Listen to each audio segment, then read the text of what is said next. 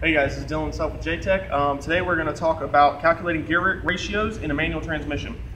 Um, pretty much the basic flow of manual transmission. Um, you got your input shaft, counter shaft, and your output shaft.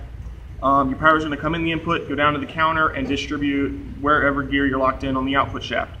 Um, we're mainly focusing on calculating the gear ratios of individual gears. So this is first gear, second gear, third gear, fourth gear, and then you'll have overdrive back here. Uh, it's pretty basic to calculate the gear ratios. Pretty much you're taking your driven gear, which is the gear that's um, getting the load, um, and you're putting and you're dividing it by your drive gear, which is the one giving the load.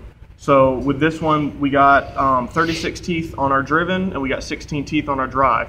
36 over 16, it gives us a 2.25 to 1, because um, it is a ratio. So you pretty much just take it down the line. You'll do the same thing. Our driven over our drive, divide it. It'll give you uh, number point number, and then you put that to one. So you'll go down. Now when you get to fourth gear, um, what it's going to do is it's actually going to lock this gear, and the power won't go down to the counter shaft. It's actually going to go straight through um, to the output shaft because it's pretty much going to make these two shafts one.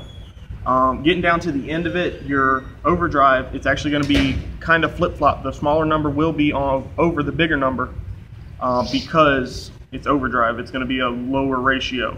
Um, so on this one, for example, we've got 23 over 48, which gives us a 0.48 to 1 um, instead of like a 2.25 to 1. I mean, it's pretty basic to calculate gear ratios. Um, I'm Dillon. Thanks.